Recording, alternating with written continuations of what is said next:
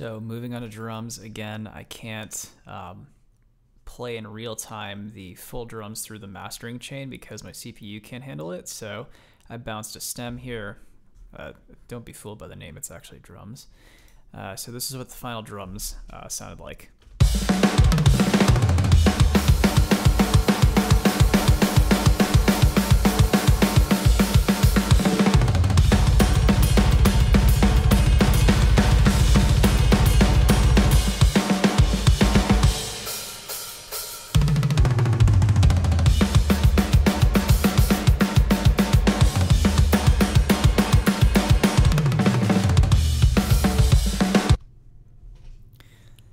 So you'll notice that the drums are definitely the beefiest part of this entire mix. Um, the way I worked things out, I sort of wanted the bass and the guitars to form one single, very smooth unit with not a lot of dynamic range between them.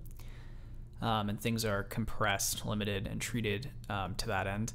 In the case of the drums, I had more room to maneuver because I knew that I could count on the, uh, well, there's no vocals, and then in addition to that, I knew I could count on the bass and guitars being pretty consistent. So I let that dynamic range be taken up by the drums. Um, the kick and the snare are very, very, um, they're almost a little tacky, uh, but the rest of the mix, mix is so dense that you sort of can't, it, it, it worked out in the end, I think. It doesn't sound too bad. So I've turned off the, um, main chain, but just let's go through the drums quickly. Uh, I don't want to go into too much detail because it could take forever, but um, the drum bus, I've just got some basic stuff like um, a tiny, tiny bit of a low and high shelf, um, some um, console saturation, FabFilter Saturn. I think here this was designed to make the kick stand out a little bit more. Soundtoys Decapitator. Um, this is uh, pretty rough saturation. It's pretty ugly. I added a, a decent amount of it, um, but with almost no drive. And so what this essentially does is that it um, just thickens the drums up a little more. So let's solo them, then listen to it with it off, then with it on. So here's with uh, Decapitator off. Now with it on.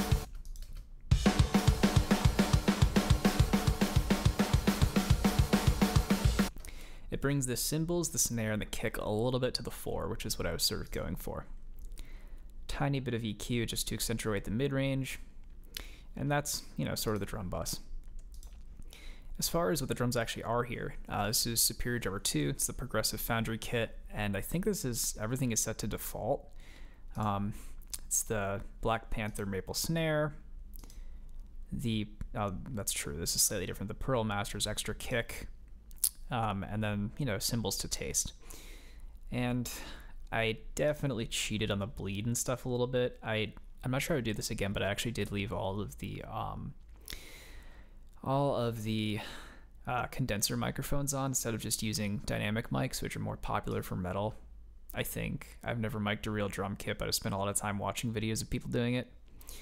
Um, and I think in the future I would actually use mostly condenser mics, just full on turn off the um, use dynamic mics, turn off the condensers. But I definitely played around a lot with the bleed, and I did something which is just like uh, I created a real zombie kit here. I took a bunch of the overheads and room mics, and I turned every single thing off except for the snare. Yeah, see here. So this a lot of uh, people, a lot of producers end up doing some sort of trick, either with multiband compression, with an expander, with a gate, where they try to clamp down on the cymbal bleed on the room tracks uh, to accentuate, basically have things bump up when the snares hit and to kill as much of that cymbal bleed as possible so that the room mics are mostly um, snare, essentially, um, or, you know, the, the shells. And uh, you can replicate that. You can certainly do the exact same thing, or you can cheat in Superior Drummer because they've recorded these hits individually and just turn off the bleed, which is what I've done. So I just stacked that snare over and over and over and over again so that my room mics my room bus has a ton of snare on it from different sources. That's the main thing that I really did here that makes any sort of difference. Everything else is pretty much academic. The kick, um, let's listen to the kick by itself.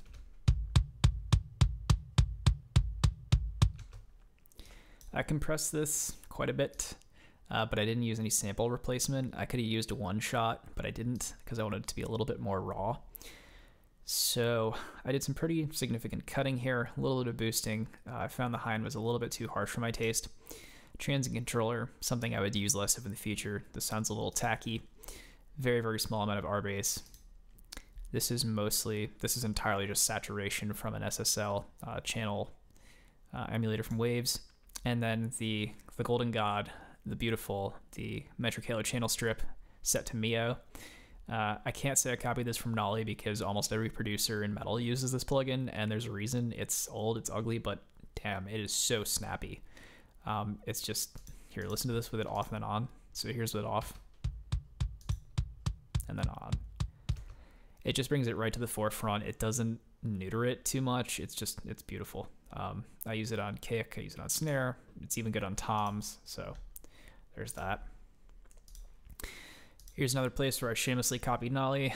Um, he has a trick where, in his case, it's designed to mainly control uh, cymbal bleed um, on the snare mic and to, um, but it's also uh, designed to split it into different bands. So what he does is he puts a, uh, I think he uses an expander, but I mean this is essentially the same thing where you um, bypass three of these. Um, three of these ranges and then use the top range from about 4000 up and you drop it.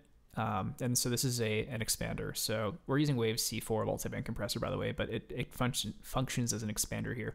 Every time the snares hit, um, it bumps up the highs and then immediately reduces them back down uh, to the tune of 8 dB. So here's what the snare top sounds like with this off.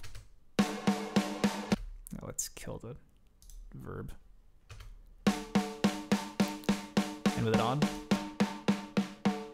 So huge difference. It gets rid of a lot of that washiness, and then you can leave the snare bottom and uh, turn the volume up. I use like a, a light low pass, um, but you can turn the volume on the snare bottom up and use that to fill out that top range that's being subtracted here. And that way you have a better blend and it just sounds much more consistent and um, a lot less um, squishy. It's a lot more like snappy instead of like thwappy.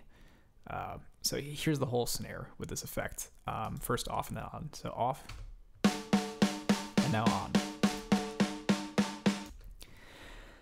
Uh, yeah, it's it's just much more controlled. The reverb is uh, verbiage for the default settings. Stole that from Nolly. Uh, I have a little bit of mid-side EQ here just to get rid of some of the um, some of the grossness in the left-hand side a little bit of compression on that reverb, uh, a little bit of transient control just to tighten it up, and then a tiny bit of saturation. I'm not even sure why this is here, but I just sort of left it on. Uh, but what does the uh, reverb sound like by itself? It's huge, it's a little tacky, and there's a lot of it, uh, but it worked. The 1176 bus, so here this is um, a trick that almost every producer, especially metal, uses. It's parallel compression you send your shell drums and your verb in your room uh, to an auxiliary bus. On that bus, you have an 1176 or some sort of similar type of compressor that just smashes the living hell out of it. Uh, sometimes you use a little bit of EQ, like here I boosted the, the low end. And the point here is to um, make it have your, your initial tracks sort of serve as the foundational sound, and then the 1176 fills in the sustain for the most part. So here's what the 1176 sounds like by itself. We're doing like 12 dB of gain reduction here. It's a lot. Uh, and the routing is that it's receiving from the snare bus, the verb, the toms in the room. And I've modified these to taste so that you get a ton of snare, a little bit less of everything else um, and the kick, much less of the kick. So here's what the drums sound like without the 1176 on at all.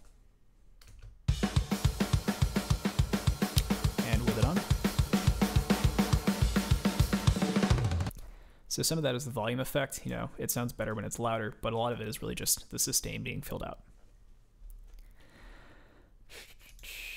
Hi hat, almost nothing. I have high pass living hell of it, a little bit of a top boost. Um, I think this was subtracted for the kick, but I guess I left it off. and a tiny, tiny bit of 8% of uh, room just to make the drum kit sort of gel together.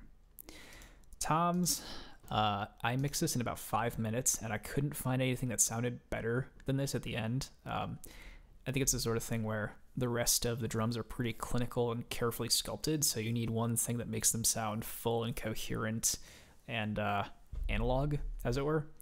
So I just cut the lows, boosted the highs, transient controller, again, snappy, uh, Mio Metric Halo, clipped them a little bit, and then gated them. And this is what the drums sound like by themselves. That, sorry, the toms.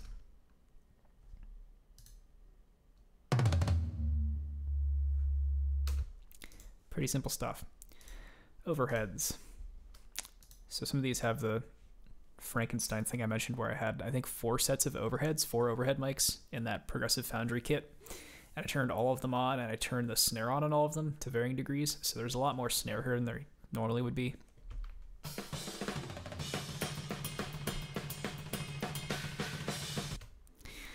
And I uh, did some normal cutting and boosting to get rid of the muddy low end. Added a tiny bit of verb just to flesh out that sound. The room. So again, another place where I created a Frankenstein snare. Here, I mainly just did a high pass filter and boosted the top end a little bit because I wasn't as worried about cymbal bleed, so I could add some sort of zazzle and uh, spice to it. And then I uh, pretty well compressed the low mids so there isn't a lot of movement around there. Those are the drums. Um, there's not a huge amount of processing being done on them, but I definitely used some audio cheating in the way that I routed it uh, in Superior Drummer to allow me to achieve this sound. And uh, I spent a lot of time making sure that the transients in the drums, the shells were poking through the rest of the instruments. That was what I spent the most time uh, combating, making sure that the bass and the kick could be heard together and that they were one unit, but that the kick wasn't getting smothered by the bass. That was overwhelmingly the toughest thing I had to navigate uh, with this record.